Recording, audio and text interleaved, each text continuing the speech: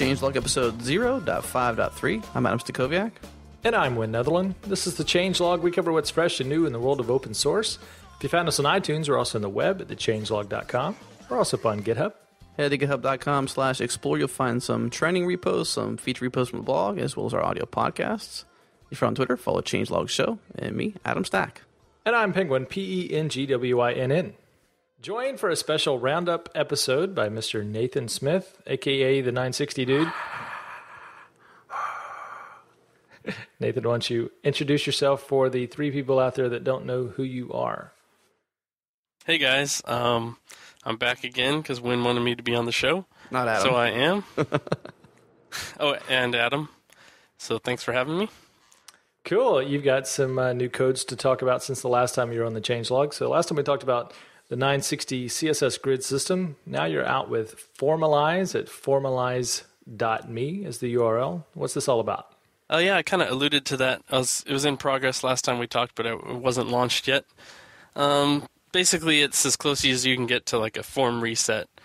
So rather than try to make the forms look crazy different or replace anything on the fly with JavaScript, creating accessibility issues, it just tries to take the elements that are there and make them look as close to as close to the default that you can that all the browsers will uh, kind of agree on, you know. So it's you know at a glance it's not supposed to stand out necessarily. It's just supposed to look at it and say, yeah, it looks like a form. So that's pretty much it. But I mean, it's uh, there's quite a bit of code involved, but um, you know it's it's an accessible approach. So so what's the idea here? So that the forms look exactly the same in all browsers, or just enough? As close as humanly possible without resorting to like hiding elements and uh, creating fake elements with JavaScript. So, what's the deal with browsers and forms anyway? I mean, is this a an operating system uh, affinity that it, they have, or is it more just a each browser has its own way of displaying form elements? Honestly, it's kind of like Seinfeld says, "Who are the ad wizards that came up with that one?" I would love to sit down with whoever decided, you know, on all these different browsers that we're going to go a different way than the operating system or or whatever. I mean, Chrome on OS 10 looks totally different than Chrome on Windows or Chrome on uh, Ubuntu or you know Linux or whatever. Um, same with like Firefox and stuff. So I mean, they try to keep to the operating system default, but they're even different amongst themselves within the same operating system. So Formalize is a, an attempt to get them as close as possible to one another. So 960 is pure CSS, but on Formalize, you've got uh, JS library support for Dojo, MooTools, Sencha, jQuery, Prototype, even YUI. So what's the JavaScript component here? Um, it's just a little, um, do you call it, polyfill that will add HTML5 form support to browsers that don't have it natively. So if you're in like IE6 or IE7, um, the autofocus attribute will work, the placeholder attribute will work stuff like that. So, um, and it you know it does a check first to see if those already work in the browser, and if so, it leaves them alone. So you get the the browser native handling. Have you seen the exhaustive uh, HTML5 cross browser polyfills on the Modernizr repo on GitHub? I have. Those are pretty cool. Um, for this, I just wanted to do pretty much the styling, and then the um, the small polyfills were were low hanging enough fruit. You know, just the the autofill and uh, or sorry, autofocus and uh, placeholder and that type of thing. So I mean, because a lot of those already exist, I didn't want to attempt to just recreate the wheel there. But what I couldn't find was something that made form elements look kind of default-ish across the browser spectrum. Sort of feedback are you getting on Formalize from the community? Um, seems to be pretty well received. Actually, had a guy call me at 10:30 last night that wanted to talk about it, so I. That's always fun. Wasn't sure how he got my e- email or. Uh, um, home sorry, phone wasn't, number? Wasn't yeah, sorry, wasn't sure I got my home phone number. I should say. So I was like, uh, really love to talk to you about that, but if you send me an email, it'd be a lot better. Because you know, when you got a kid, you don't want to be talking web at like 10:30 at night. So. Yep. Talking to web at 10:30 at night. So uh, this is not something you normally do with uh, your wife. Is talk web? I mean, I'll chat with people, but I mean, it's, it's a whole other thing to have a phone conversation with somebody that doesn't even introduce themselves. Just immediately pick up the phone. Hey, did you do Formalize? Yes. Cool. Um, I have a few questions. Who are you? You know, a little weird. Well, you were telling me the other day that uh, you went out to dinner with your wife and she didn't want to talk HTML5 uh, JavaScript or CSS3. Right. So you know, I, I said I could frame it as uh, food, clothing, and shelter, but you know that didn't go over too well. well, looking at the demo, you actually have quite a bit of different uh, camp support. You got Dojo, you got jQuery, MooTools. Seems you've uh, put demonstrations up in each one. What was involved in that? Uh, initially, I did it in jQuery. Then I had uh, somebody kind of volunteer with a pull request for MooTools, and I thought, well, if there's somebody wanting to do it for MooTools, there's probably a chance that they want it for other libraries too.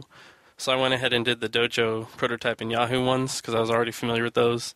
And then uh, another another guy uh, volunteered to do the Sencha one or the um, I guess it's EXTJS. So yeah, uh, basically I didn't want um, people to look at it and say, "Oh, this is cool," but oh, I can't use it because we've already standardized on a library that it doesn't support. So I'm going to ask the number one question, probably on everybody's mind, is that uh, you're a recent Sass support or a Sass convert, but this is in CSS. Right. Uh, well, it actually comes with a um, like underscore formalize.sass file that you can use if you want. So, boom, boom, just like so that. boom, so boom. Yep. So what's a what's a CSS to Sass convert look like these days? Uh, pretty much like a web developer. I don't know. Um, I guess the last time on the show you asked me about Sass, and I hadn't really used it, so my answer was like, "Yeah, it seems good." Um, my initial response to Wynn was "Get off my lawn," you know. I remember that. But uh, you know, I've been using it since uh, starting this new job at HP, and we use it as a team. So, kind of like you know, you jump on the project and it's already it's already in in the project, so you kind of run with it. And I really thought I would miss the curly braces, and even was wondering like, oh man, is this going to ruin me for real CSS? But I think you know, after a certain point, you realize CSS is not so complex that it's going to kill your understanding of the language itself. So beyond just killing CSS, what about things like uh, CSS3 support, to, like rounded corners, the things that actually take up like uh, eight lines to support all browsers? Oh yeah, I mean, not having to type like dash WebKit dash Moz and all the permutations is awesome. How much time do you think you've saved? Uh, I mean, not I just don't know. time, I mean, but also just brain cycles. Yeah, I think too. At the end of the day, you haven't, you know, you're not typing all that stuff over and over. So I mean, probably saving on like metacarpal. I don't know. Um, it's I can't, you know, quantify the exact amount of time, but I certainly feel more productive using Sass. I kind of hear this song in the background. Do you hear that? It's a whole new world. Going back to Aladdin, is that where you're going with Hey, that? dude, you put the movie things out there all the time, so I, I pull one out of the, out I of the just cuff. like I was so cracked up at your choice of movies. It's like children's cartoons and things. That's great. I keep it simple, you know. You know what's funny is you know I love the the indented syntax of Sass, and you know the SCSS syntax still supports the the curly braces, but you know um, we both prefer the uh, the indented syntax, the original Sass syntax. But what's funny is you know I prefer the indented white space in Sass, but yet you know I prefer Ruby over Python. But uh, just to prove there is a yin and yang to the universe, it seems like I'm giving all the curly braces back in my mustache templates. I, I love mustache as a templating language. You guys used it? No. No. I have not. However, So much to teach you guys. since Wynn likes it, I have the feeling I'll be using it on a project in the future very soon. Absolutely, dude. Well, the good thing about Sass really is that it uh, it's so easily converted from one to the other. So you can pick a camp if you want. Um, like for me, I got a couple extensions out there that I actually deploy. Uh, I write the Sass, but I have a rake task to convert it to SCSS before I actually ship the gem. So it's available to, to both camps. I'm agnostic. Huh. To me, just as an end user, I mean, it sounds like you prefer Sass too, but um, you know, I thought I would like SCSS, but once I got into it, it's like if you're going to go different, go all out, you know, and save that typing. I don't know. It just seems more logical. oh yeah, to, totally. I'm with you. But the the point really with that is that you've got uh, people who are scared of Sass as like, oh, I've got to change things, just like the the comment for you had at first too. But if they're just a CSS player, they can easily just use that Sass or the sorry the SCSS because it's basically CSS. I mean, you could just drop CSS right in that file and it runs, no problem. I guess what I like about Sass is when you go into a Sass file, you know that you're in a Sass file. You don't have to look and say, okay, are there any variables being used in here? Aside from, I mean, obviously looking at the file extension, but um, seems a little more straightforward to me. You know, one of the things that uh, you liked when we chose the indented syntax for the project we're working on is the uh, one less decision to make around how do I format my my style sheets because with the indented syntax, there's really only one way to to arrange your your style sheet code with the uh, CSS traditional um, syntax. You know, everybody's got their own opinions. Oh yeah, I mean it keeps the one line CSS riffraff out. Well, not only Right. that, but I mean, not to jump on the sister project of Sass, but Haml does the same thing for HTML. Yeah, I can't tell you how many times I've got to the end of a file, you know, ERB or HTML file, and you see close div, div, div, div, div, div, and you're like, what? Well, okay, I know somewhere something's unclosed, but I don't know what it is. You haven't felt it the best unless you've actually dealt with a uh, with a conflict with Git, and you've got a massive ERB file or straight up HTML file, and tried to work your way out of that. What's worse is when one of the closing div tags, the missing ones, are down in a partial somewhere. Yeah. Yeah, that's true. On the flip side, sometimes I'm like, I really just want to do a data dash attribute. Is that so hard? As with any abstraction, it seems like the yeah the the simple things are what become hard. You know, with abstractions that make uh, the incredibly hard things very simple. yeah, I think there's trade offs either way, but I, I, I mean, I prefer Haml if it's on a project already. Um, I, I would probably say that I, you know, that's the old saying or whatever, came for the Haml, stayed for the Sass. Except I came for the Sass and Haml, I'll take or leave. Kind of Mm. like, meh, I like it, but I, I wouldn't like, you know, cry if it wasn't in a project. If But was I would ERB cry if there was no Sass, That's for sure. I might shed a tear. I would definitely shed a tear. With so much Sass talk, I know that we're a little lighter on the uh, listenership so far because there were some uh, some comments in the Convore room the other night about uh, someone saying if I hear Haml and Sass one more time on the changelog, I'm going to shoot myself in the face. So Uh oh. our condolences to your families. Um, let's do a roundup show, shall we? Let's let's uh, let's kick it off. Who's first? And this is totally unscripted. Obviously. So, Adam, what would you like to talk about first? I think just kind of continuing down the whole style framework, let's talk about HSL. So before this uh, conversation, I kind of got a little bit of a, a brain teaser from Wynn about what HSL is. And Nathan, I guess you kind of backed me up with not really sh- being sure about where this fits in. Right, yeah. Initially, I was like, so wait, I know RGB is like a numerical equivalent of hex, but what is HSL? Right. So we got Brandon Mathis picking up the uh, the cool domain hslpicker.com, and he threw up a very snazzy, very beautiful site to demonstrate uh, a lot of, I guess, some Sass in the behind, because I know that he's a Sass dude, and then some nifty JavaScript. But uh, Wynn HSL, what is it, bud? For those that don't know, HSL is hue, saturation, and either lightness or luminosity, depending on your flavor. Um, basically, it's the three dimensions that I think how the human brain works around picking colors. Because normally, when you sit down to uh, to pick a color, um, you start playing with those RGB sliders, and you're like, "What the heck?" And then you flip over if you're on uh, Mac, you flip over to those crayons, and you pick the one that's closest just by the crayon color. That's right. so, but HSL, give it a look. Uh, basically, you have three sliders. The first one's the hue, so it goes from red to red. So you can choose, you know, red through the oranges, colors of the rainbow, all the way to meets red on the other side. The second one is the uh, saturation. So the zero saturation is uh, totally grayscale, and 100% saturation has the full color component of the color. And then the third dimension there is the luminosity or the lightness. And so you can go darker or lighter. So that's usually how a designer, when we sit down to, to pick colors for a design, you want something that's a little warmer or something's a little darker, uh, something's a little more washed out, you know, those types of scenarios. So this is uh, a good way to pick those.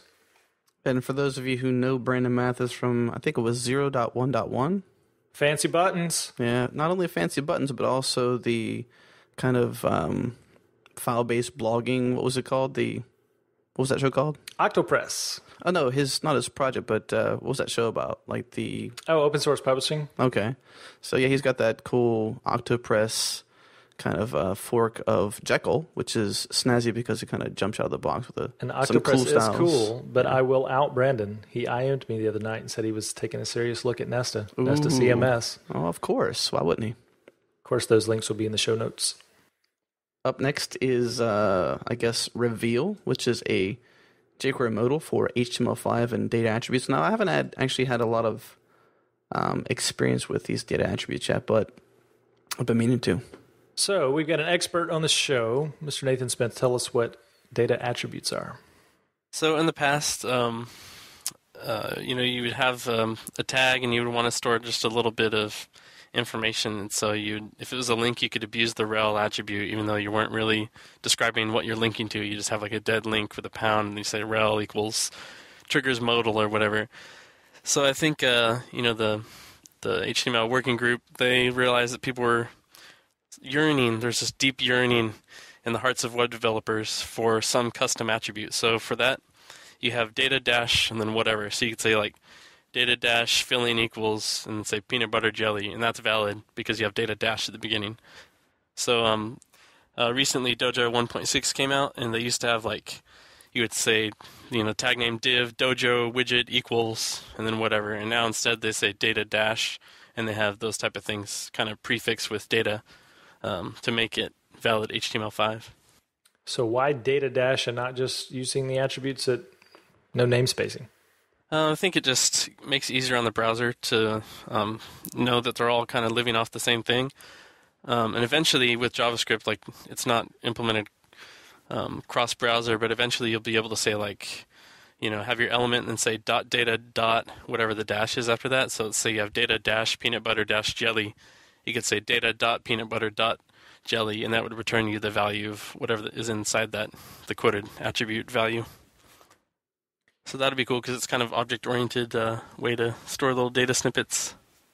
This modal is from Zurb. It's 100% buzzword compliant because it's jQuery HTML5 and has data attributes. But Zurb does some awesome work. If you haven't checked out their designs, they've got a, a nice little sandbox up at zurb.com where they show a lot of their CSS tricks. It's actually funny you post this one too because like the the day before you post this, I was like, wow, this is awesome. Oh, actually, I posted this one because I saw you watched it on Okay, GitHub. okay, okay, nice. And I watched it because I was like, I got to blog about this, and you beat me to it, which is awesome. I'm going to switch gears and talk about Rawler. You guys seen Rawler? I have not. I have not. Did we actually hear about this from our friends over on the Ruby Show? Did we really? Yeah, about two or three episodes ago, maybe four. I'm happy to give a shout out. Holla. so Rawler basically is a way to crawl your website and find broken links. So it's a gem you install, gem install Rawler. Um, it's got a nice command line interface, but you basically basically say Rawler and give it a URL, and there in the um, the blog post I give it the changelog.com and uh, it starts crawling our website looking for 404s. Luckily, we didn't find any. Got a lot of uh, 301s, just the way that uh, Tumblr works, but it's a nice way to to crawl your website looking for broken links.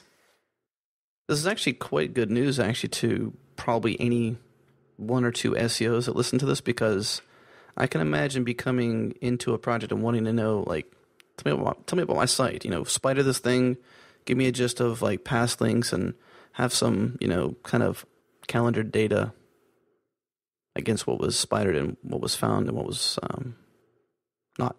Yeah, I mean, because when you're content farming, you want to make sure that your your crops are well watered, right? Speaking of, speaking of uh, Hala, even you guys seen Mahalo Boom. with the uh, content farm rules changeover G- Google's doing to those guys? So like a twenty percent layoff. That's the suck. Yeah, so basically, people were getting used to and even getting down to a science being able to game Google's algorithm. They recently had an update to it, which uh, pushed a lot of those content farms off the first page and, you know, subsequently dropped all their revenue from ads and whatnot. Would you classify ehow.com in that category? Uh, I'd say about.com ranks above them, but even that's kind of questionable, so yeah. When you see, you know, how to articles on um, you know, how to beat a nicotine addiction, I guess that one's semi useful. I saw one article that was talking about content farms and it linked to one that was like, how to make friends at college. It was like, step one, go meet people. Like, really? Step two, don't just stay in your dorm room. Like, uh, how's that an article? Be interesting to see how the uh, change in the Google index changes the uh, the web. You know, because you know Google's index I think is slanted towards folks like us. It's amazing how you can put in um, just an ordinary word that happens to be a GitHub repo, and that that repo's at least in the top three. It's pretty good on medical terms too. But yeah, every everyday ordinary search is kind of hit or miss. Did you guys see Inception? I did. I actually saw it three times in the theater. Three times in the theater. I think the first time that I saw it was on a four-inch screen. we'll have to put that in the show notes to explain that that weird noise. So I had to watch it again when I got home, and then um, you know check out the uh, the repo that we posted on the changelog. This one was uber popular. Inception, the movie, explained in C code. This was from our friend Steve Klabnik. I actually had saw this when it came out. It came out, um, I guess, last summer. Um, I hadn't seen the movie, so it wasn't that interesting to me at that point. But after I saw the movie, it's it's crazy. But um, came out on DVD, and Steve posted this, and 181 retweets on this deal. It's just crazy popular. For those that don't know, it's basically the plot of the movie written in C. We uh, we also had a version of this in, in JavaScript, right, Nathan? Uh, yeah, there's a gist out there we can put in the show notes. Basically, um, uh, and I think that's where we discovered uh, console.group, which is pretty For cool. Firebug?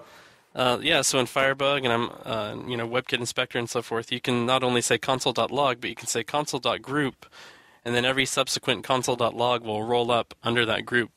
So what this guy had done was had several console.groups, one representing each dream level, and then gone all the way down, you know, to the undefined dream space, uh, and you know, and then bubbled all the way back up. So it's a pretty cool example. Um, it's a good way, I guess, to teach people that know about the movie how to read JavaScript and or vice versa. I was kind of disappointed at the bottom it didn't have a little token though. A Yeah. totem. well, Totem is that what they're called? yeah, totem. Like the uh, the Beerfest 2011 site. What was the URL to that? I'll put it in the show notes. I'll have to find that one. But that was uh for a party at South by Southwest. Um, it was done by Alex Giron of uh, CSS Beauty and uh, nclude, N-C-L-U-D.com. Um, made really good uh, use of CSS3 animation, so as you scrolled, it zoomed in further and further and further, and if you went all the way down, there was a little spinning top totem. And we clicked it, it zoom all the way back out and say uh, Beer by Southwest or something to that effect with a little sound effect. we've seen that effect in opening title sequences for movies for, for years. I wonder if this is going to be something that if it's just a novelty, if this is going to be of use in any sort of application scenario, the, the zoom into the app interface. We shall stay tuned. Compass Magick. We can't get away from Sass, especially since uh, Nathan is on board. So Compass Magick extends Sass with the power of ImageMagick. Did you guys see this one? Uh, remember you mentioning it. Well, it's built on RMagick and Image Magic. Those are the two standard tools if you're slinging the Ruby and want to do anything with ImageMagick. Um, Compass Magick, um, you know, Compass supports out of the box CSS gradients, but not all browsers support them. So this one will actually build static images based on the same linear gradient syntax and just compile images on the fly so you can just ship those images with your CSS code and they work in any browser. That is awesome. It's pretty nifty. So who wrote this? This is from, I knew you were going to ask that. Let me click the link. Stan Angeloff. Angeloff. Not uh, Ashkenas? Not Jeremy Ashkenas. Not this one. There's at least three repos in the changelog that are not Jeremy Ashkenas's. this is actually really cool because um, a lot of times I catch myself in this scenario without this, just putting a background color, being lazy, or you know, going the extra stretch of actually doing the grading if I really want to be nice to the browsers that don't support it. You know, on all it's doing is providing mix-ins, right? So you can still mix and match those standard Compass mix-ins for the linear gradient, but just also supply a uh, Magick M A G uh, G I C K namespace uh, mix-in above that one, so that for older browsers it would pick that up. So basically, outputs like a PNG, which is immediately redeclared as a CSS3 gradient, so that if the browser doesn't understand that CSS3 gradient, it already has in its mental model of how to paint it um, to use the background image instead. Exactly. Nice. It's a nice little syntax too. So the example that uh, we listed here on the on the blog is magic erase blue, which sets a default background color for whatever you're painting there, and then a linear gradient. You supply your color stops, and then set your left and uh, right corners. It will actually draw rounded corner images for you. So I guess next up we had jQuery Mobile Alpha 3, which You is the Pow Pow. Say what? Have you played with this one? I have a little Alpha bit. 2? Yeah, it's pretty cool. Um, what I like is that it takes you know the look and feel of I guess several different mobile uh, OSs, and it tries to kind of hit a sweet spot of looking good within each one without trying to look native. Um, and I guess the the logic there. I mean, I, I haven't talked to the jQuery mobile team directly about why they chose that way, but I think it's kind of cool because then, let's say like there's an iOS update that changes the way buttons look or or the way you know a particular background on on a type of page looks. That way, you're not scrambling to try to update every time because you have your own look and feel for your app. It's um, you know, it looks it looks um, tasteful, yet it's not uh, trying to go one to one with the OS that it's in. You know, the thing that struck me over the Alpha 2 release that was prior to this is just the, the amount of speed. So the, the Alpha 2, as you would scroll even on the iPhone 4, which is you know, quite a beefy mobile device, you would see the checkerboard transparent background underneath the document for you know a ways down the page while it was trying to paint the document. And this one seems a lot lot zippier. Yeah, I know they've been working a lot on speed and responsiveness. It's got to be a big problem to build a mobile framework that spans the amount of devices that they're looking to support with uh, a single code base.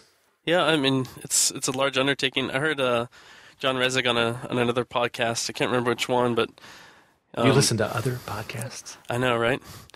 Um, but, I mean, I always check this one first, and then I double check, and then if nothing else is posted on the changelog, then I go listen to other podcasts. Good deal. But anyways, John Resig had said, uh, you know, he's talking about the expense that would go into testing on every uh, mobile mobile OS and how many phones you'd have to buy. And the interviewer was saying, "Oh wow, so how do you guys do it?" And he said, "We we buy a bunch of mobile phones and test on every OS. You know, like they, there's no real way around it in his in his mind. He was saying that that's something that jQuery Mobile tries to do, so that you as a web developer don't have to to go and you know incur that cost yourself. They shoulder the burden for you, huh? Yep. So how does this change the markup? Uh, yeah, there's a little. I mean, there's somewhat generated markup. Um, you know, Back to data attributes, buddy. boom. That's right. Uh, yeah, so they have you know the data dash attribute, um, making generous use of that to mark which uh, DOM elements need to be styled by jQuery Mobile. Uh, what's kind of cool though is because uh, most, I'd say all mobile browsers, all good ones anyways, understand that uh, the uh, what's it called attribute selector, so you can use that and not have to worry about browsers like IE6 not understanding that, and so it's something that you can sprinkle in your markup and, and know that it's just going to work. Speaking of jQuery, you just got back from uh, DrupalCon. Gave a jQuery talk up there, right? I did. What was the turnout at uh, DrupalCon this year? Uh, it was pretty cool. It was uh, about 3,000 people total. Um, I'm not sure the exact turnout to my talk, but it was pretty packed, so that was cool. Um, talked a little bit about Formalize and uh, a little bit about the jQuery desktop. It was just a kind of fun to see if I could do it desktop in a browser. Um, so it was good. I talked about um, why you should namespace your JavaScript and not have a bunch of global functions sitting out in the global namespace. Um, it was it was pretty cool. I'm hoping they'll have the video posted soon and uh, let you guys know if they do. So, what got you into Drupal? Um, actually, it was my friend Matt Farina who does a lot of work in Drupal and works for Palantir.net. They do big Drupal projects. He said uh, there's going to be a design for Drupal kind of camp in Boston at MIT, and you should really come speak. And I was like, dude, I know nothing about Drupal, and I'm not sure if I want to use it. And he said, well, you know, just come and talk on 960. So I uh, I submitted a talk, and um, one of the other guys that was going to be there, unbeknownst to me, had already given a talk on 960 at several Drupal camps and uh, in different countries and so forth. So he said, "Hey, do you want to just like come partner with me and pretty much read off my slides?" And I said, "Yeah, that'd be great." You know, so um, you know, it kind of came for the talk and stayed for the community. It was pretty cool. Um, once I started looking at it and wrapped my head around it, it you know found the theming to be pretty intuitive. So. Um, it's definitely not something I'd want to write myself. So, you know, as a front end guy, any CMS that kind of helps me is a good one to me. You running 960 GS on it? Uh, yeah. So on my own site, I've got it in there. And they actually launched Drupal.org uh, based on 960, stripping out the you know the mar- the um the CSS classes they didn't need and kind of renaming them to what they wanted. But uh, the grid is there in full effect. Boom. I guess the only thing I want to say about that, just to plug myself for a quick second since there's uh, some loud booms going on. Uh, SourceForge.net actually runs something that's similar to 960 as well, called Grid Coordinates, Grid coordinates. a Sass project. But we talked plenty about Sass, so that was just a quick plug. But bigger in the world is uh, the world of open source as it pertains to the government. We had a post a while back called Open Government, and it was intended to essentially shine a light on opengovernment.org, which is an open source Ruby project uh, headed up by Sunlight Foundation and those good folks, which we actually had an episode on not a long time back. Seems to be a growing space. Um, there's a whole conference that um, I'll be attending in Oklahoma City um, in May called uh, Gov2OA, which will be uh, talking a lot about open government. But uh, we had these guys on the show to talk about uh, Open Congress and some of their efforts in the Open States project. It was really interesting to see transparency shining a light into our government and letting us see a little bit more about the uh, the gears of uh, of government and sometimes how scary that is. I think one cool thing about this is just that you know if you're kind of the kind of person who wants to step up, you know, maybe just learn about code, you can jump into this Rails based project and learn a few things. There's tons of API stuff. They were pulling stuff from Google and many other sources to bring in all this data. So it's, in my opinion, visually as well as you know for backend devs, it's quite a nice project to just kind of like cherry pick from. You know, that's the cool thing about having uh, you know GitHub out there that has um, not only projects that you can go and fork and run yourself, but live sites that you can go and you want a feature on a site, you can contribute the feature and, and, give it back. And if it's the patch is accepted, they'll they'll push it live. Uh, I remember you know Gemcutter, which became the Ru- new RubyGems.org started out that yeah. way. You know, we wanted uh, avatar support. You go and you fork it, you add the avatar support, and boom, it's up in the site in a, a couple of weeks. Boom. This podcast brought to you by Boom. but this is a fun project. I, I like this a lot. I'm a uh, a speech empath, so when people start using uh, phrases around me, I pick them up. So that's not always a good thing. that's why I don't hang around with people with Tourette's. Stylus. I don't know. Stylus. this was one of yours, buddy. No, I know, I know, but I'm saying, you know, just in general. It's well. Here's the first thing about this: is that the the CSS preprocessor world, aka Sass, Less, Sass.js, whatever, um, has got one more, not so much a contender, but you know, contributor to the importance of preprocessing CSS. And here's the deal: there's so many ways to preprocess um, CSS, and we're talking Compass Sass, Less.js, Stylus, all of these out there, it, it just belies, you know, a broken language, something that is just begging for more power, Captain. Yeah, I think you know when CSS was created, the idea was like, well, let's treat designers with kid gloves. But I think you know as more and more things are shifting from web web pages and websites to web applications, you know, front end developers slash designers are wanting that that power, more of a programmatic environment. So by happenstance, Adam, you retweeted a Zeldman tweet over the weekend um, from I guess a year ago where he said real web devs code or real web designers code always have always will. Um, that was the uh, the leading message in a South by Southwest panel I attended last weekend. Pretty much the same name. Uh, you know, designers who can't code, no excuse.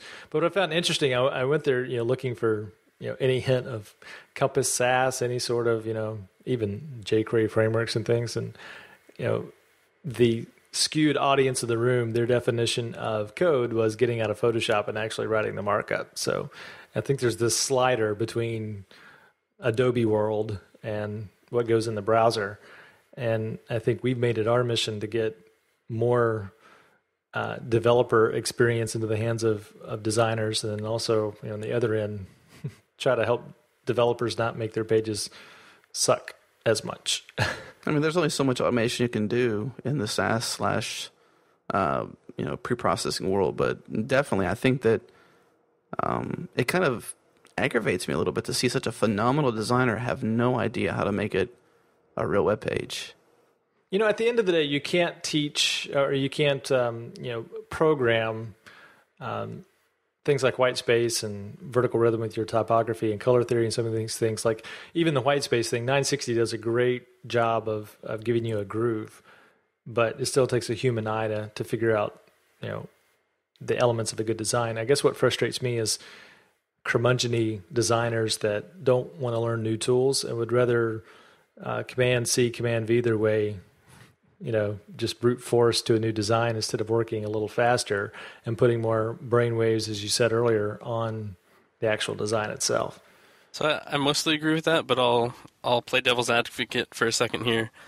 Um, I've worked with people that are phenomenal designers that do know how to code, and it translates to as a front end developer. If you are handed a design they've done, you know, it's super easy to slice it up because they know the medium and they're designing for what's uh, what's possible and what you can accomplish. I've also worked with guys that are amazing designers, understand everything about typography and white space and texture and so forth, who would be the first to tell you that they they don't code.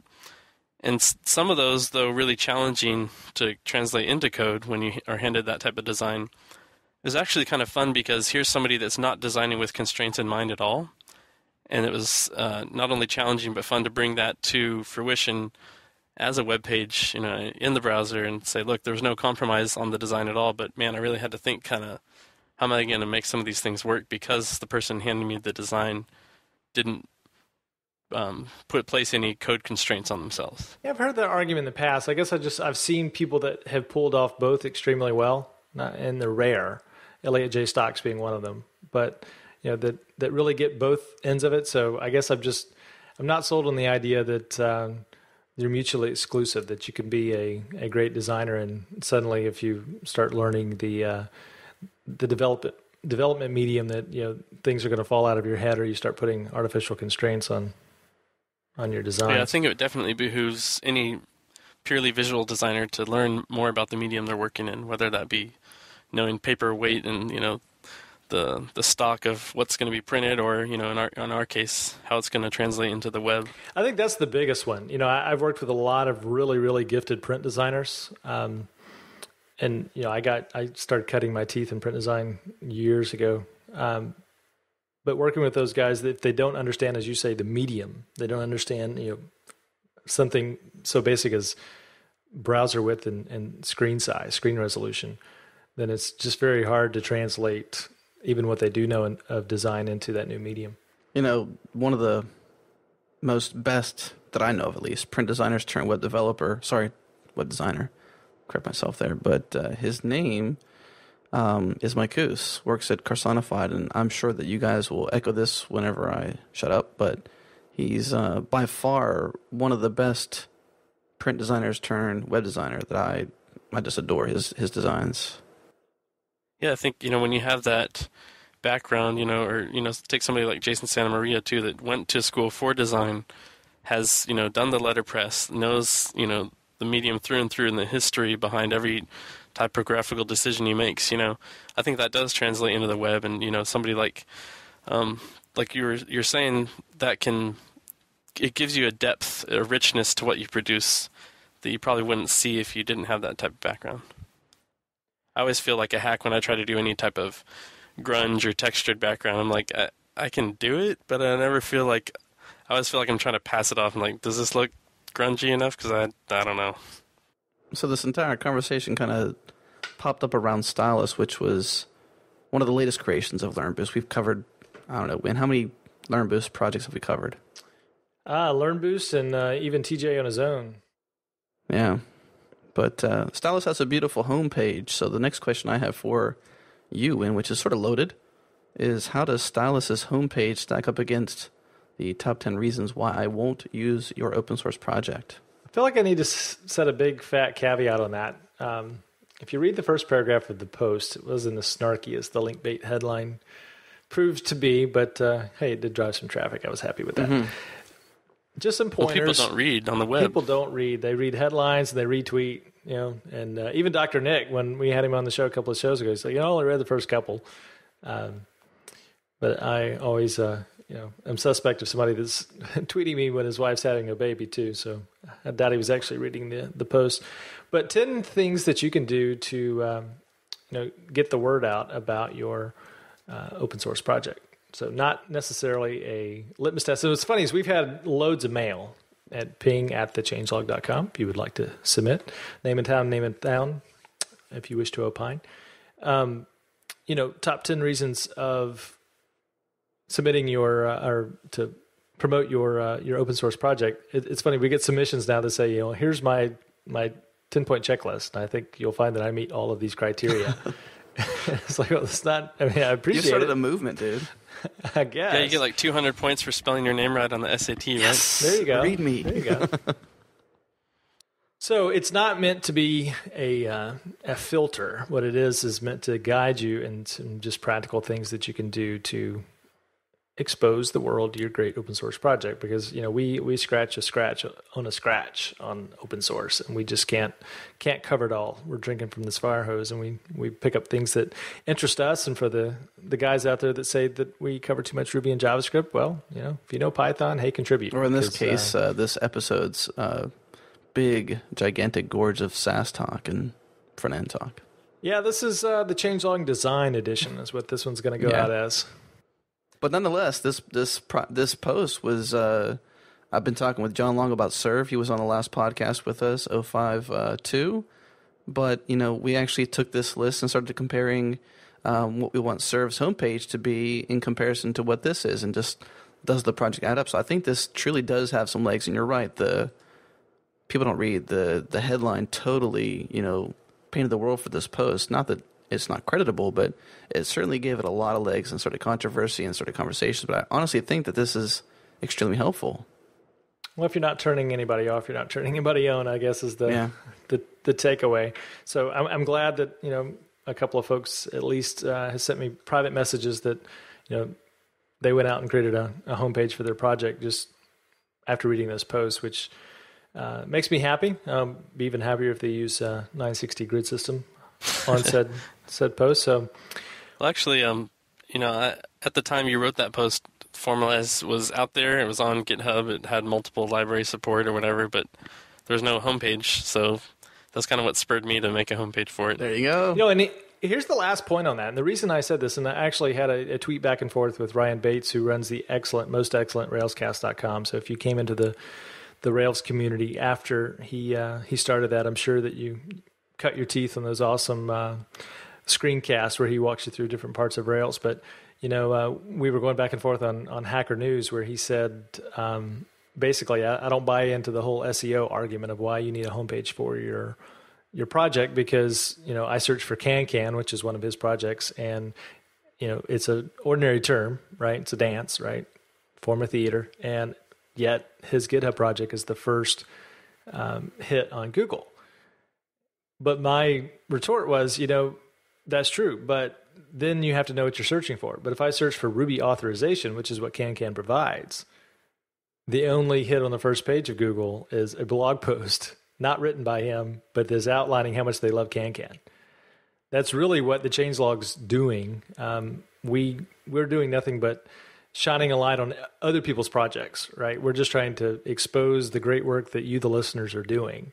And so, uh, part of how we do that is we take your project, we take your witty yet poorly SEO'd project description. We turn it into a sometimes a link bait headline. If we can work HTML5 in there, it works really well.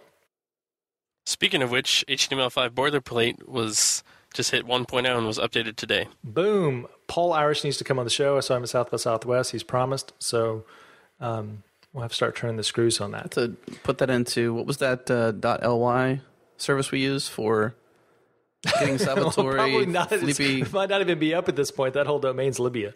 Oh, that's true. But just to complete the thought on that, what we're doing is just you know pointing uh, traffic at your project, and then you know over time, of course, your GitHub project is going to be the number one hit for your project on on Google, and that's the way we want it. We just want people to know about your project. So to add some weight to that argument, I just did a search for formalize, and other than the definition inline, you know, from the dictionary.com, the number one result is my blog post, and then number four down is formalize me. And if you search for form CSS, mine's number six. So there you go. Great points. You need to blog about your stuff too. That's excellent point. And I just, I mean, I love how you you owned a word of the English language. I'm just going to take, you know, ordinary word. I'm going to make a project out of it. And I will be number one in PageRank. Well, to be fair, I did search and make sure that nobody else had a project by that name. Did you really? It's like the uh, new trademark search for open source stuff, you know? Uh, What's funny is that uh, there was a Java library called jQuery before John Resig made it into a JavaScript library, and I think they had to like change their name or it killed the project or something. But I mean, there's no way you're going to find that one now when you search. You know, it's funny. Is I come across uh, repos all the time on GitHub that you know, uh, formerly so and so because there was uh, this other project out there, right? We even talked about that in uh, you know Hudson that became Jenkins. The word, the uh, name they wanted was Alfred. There was already that uh, Alfred app, which you like, Nathan. Yeah, it's awesome. Basically, Quicksilver on steroids. Quicksilver on steroids, or as uh, was it? I think it was Brandon Mathis was talking about how uh, you know if uh, you know I guess Alfred was a tricycle and Launch Bar was a uh, motorcycle with a rocket pack. Launch See, a lot Bar of is my times I favorite. don't, I don't want a rocket back. I just need something getting me quickly from point A to point B, just locally. Well, Alfred's not uh, open source, but since we're talking about it, I use LaunchBar, and the only reason I haven't switched is because I like to hit Command Alt uh, Return, which basically gives me the last 25 um, clipboard history, basically, and that's the only reason I don't move because I love. I use so much my clipboard history, especially if you're like copying pasting code or um, you're writing something and you kind of need to go back in history with what you copied. It's it's been really nice for me. Like tons of stuff. Yeah, I've got the same shortcut wired up to Command slash. I get my clipboard history. It's really really cool. Yeah. So you use LaunchBar as well? I am a Launch Bar guy. Yeah. definitely. Yeah. Yeah. and the only reason I think it's because it came with Mac Heist, which uh, was the precursor to the new AppSumo. Have you guys seen all these deals? Yeah. That's where we got our. Changelog sticker mule stickers. So the show did have a sponsor. Oh, actually, no, we paid them money. But uh, Sticker Mule, if you're listening, we know that you're fans of the show because um, uh, I have a tweet to back that up. Um, we would love it. Must be true. We're holding you to it. Cool. That's it for this special design edition of the Changelog. Do you want to throw in that one last thing, which is how to style Firefox specifically? Oh, dude. We can put forgot that in the show notes. That. So yeah, just like you know, what was the other thing that we learned about um, the group and console? Who knows how long that's been out in the in WebKit or or uh, Firebug? Firebug, yeah. You know, we've been doing this for years, and you, you learn something new every day. You found out a way to target Firefox today without adding a class to the HTML or body tags. Yeah, so don't go overboard with this, but if you need to do slight tweaks, you can say at dash Moz document space URL dash prefix with parentheses, and you can pass in your URL, or you can leave it blank and it'll just apply to whatever page it happens on. And then within there, you just put your styles like span, color black, font weight, whatever, bold. So we'll have a little, uh, we'll have a link to that in the show notes and uh, a gist probably. And as my wife would say, as my wife would say, yet you've never picked up any chicks with these skills. Says who? True, but it's the skills her. that pay the bills. That's true. I'm going to steal that bit of yours as you might like to know them food, shelter, and clothing. Yup, yup. That's it for a special design edition of the Changelog. Thanks, Mr. Nathan Smith, for joining us. Yes, sir. Thank you. Thank you for having me. Cool. And we'll see you next time.